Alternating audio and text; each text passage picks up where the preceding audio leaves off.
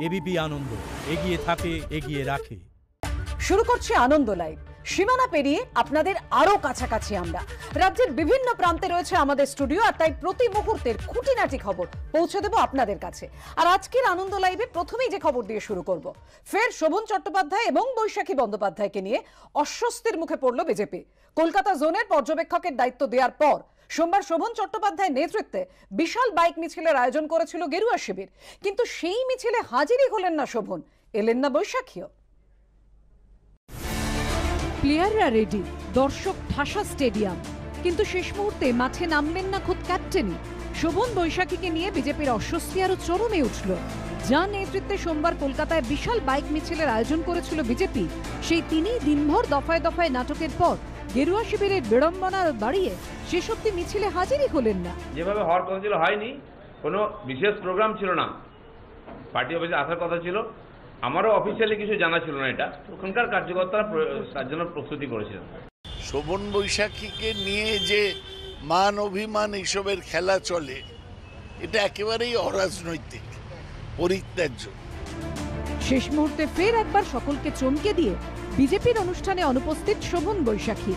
আর এই ঘটনায় ব্যঙ্গের সুর শোভন চট্টোপাধ্যায়ের স্ত্রীর গলায়।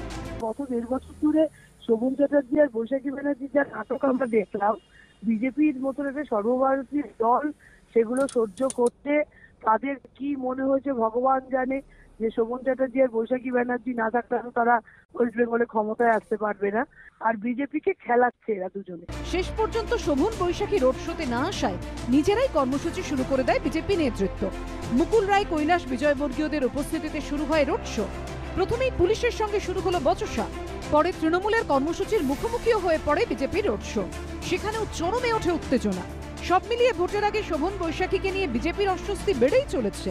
কৃষ্ণেন্দু অধিকারী পার্থপ্রতিম ঘোষ অনির্বাণ বিশ্বাসের রিপোর্ট এবিপি আনন্দ। আর কলকাতার মতোই আজ উত্তপ্ত ছিল পশ্চিম মেদিনীপুর তৃণমূল বিজেপির সভা থেকে পরস্পরের দিকে ধারালো বাক্যবান ছুড়লেন হেভিওয়েট নেতারা। সেই খবর জানতেই আমরা চলে যাব মেদিনীপুর স্টুডিওয় কুন্তলার কাছে। কুন্তলা। কারিয়ার দিবসে একই সময়ে তৃণমূল বিজেপির সভাকে ঘিরে উত্তপ্ত গর্বেতা। গর্বেতা সভা থেকে ছোট ঘটনায় সিবিআই তদন্তের নেপথ্যে বিজেপিকে কৃতিত্ব দিলেন শুভেন্দু অধিকারী। পাল্টা তৃণমূলের কটাক্ষ ছোট আঙ্গারিয়ায় সেভাবে দেখাই যায়নি প্রাক্তন পরিবহন মন্ত্রীকে। ছোট আঙারিয়া দিবসে কার্যত সম্মুখ সমরে নামল তৃণমূল বিজেপি। সোমবার একই সময় কুড়ি কিলোমিটারের ব্যবধানে দুই দলের সভা ঘিরে সরগরম হয়ে উঠল গড়বেতা। এই সেই গড়বেতা, যেখানকার ছোট আঙারিয়া গ্রামে তৃণমূল কর্মী বক্তার মণ্ডলের বাড়িতে আগুন লাগানোর ঘটনা ঘটে। দুহাজার এক সালের চৌঠা জানুয়ারি এই ঘটনায় মারা যান পাঁচজন তৃণমূল কর্মী। দু হাজার এক সালের পর থেকে প্রতি বছর ছোট আঙারিয়া দিবস পালন করে তৃণমূল। আজ কুড়ি বছর হচ্ছে দু এক সাল থেকে চৌঠা জানুয়ারি। তখন থেকে বিজেপির সভা তো কোনো নামগন্ধ ছিল কি? আপনারা তো জানেনই যে কোনো নামগন্ধ নেই ওদের। এতদিনে আবার বিজেপি সভা করবে চৌঠা জানুয়ারি উপলক্ষে লেগে সেটা কোনোদিন হয় নাকি? গড়বেতা হাই স্কুল মাঠ থেকে যখন তৃণমূলকে হুঙ্কার দিচ্ছেন তখন গড়বেতার বোষ্টম মোড়ের সভা থেকে শুভেন্দু অধিকারীকে পাল্টা আক্রমণ করে Trinamool. Deputy prime minister Lalkrishna Advani ji তারা একটা ডেলিগেশন পাঠিয়েছিলেন ছোট আঙ্গারিয়াতে এনডিএর নেতা কেন্দ্রের মন্ত্রীরা ছিল তারা এখানে এসে আপনাদের পাশে সেদিন দাঁড়িয়েছিল সিবিআই তদন্ত হয়েছিল।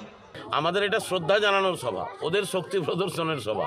এখন শুনুন, ব্যাপার হচ্ছে, নতুন একজন গেছে না, একজন বেইমান মির্জাফর, তাকে একটু বেশি করে দেখাতে হবে যে সে কতটা গেরুয়া হতে পেরেছে। কারণ জেল থেকে বাঁচতে গেলে এটা তো দেখাতেই হবে। এদিন গড়বেতায় সভা করলেও ছোট আঙাড়িয়া গ্রামে যাননি শুভেন্দু অধিকারী। গড়বেতার সভামঞ্চের পাশে স্মৃতিস্তম্ভ গড়ে শহীদ সভা করে বিজেপি। এদিন ছোট আঙাড়িয়া গ্রামে শোকসভা করে তৃণমূল। প্রকাশ সিনহা ও সোমনাথ দাসের রিপোর্ট এবিপি আনন্দ।